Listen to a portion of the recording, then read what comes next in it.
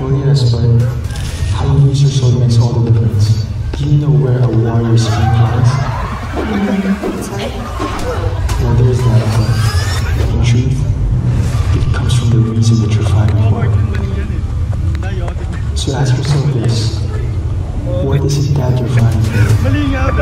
What makes you a warrior? The of the crimson hunt. To prove to the world that even I can fight.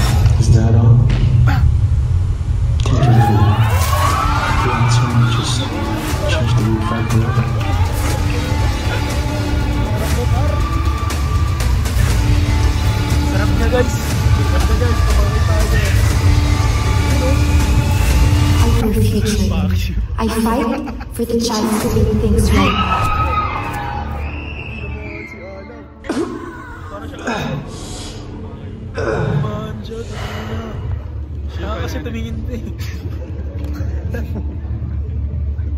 I fight so I can reach the fires and have the crimson fire burn my spirit ablaze. Susunod niya siya.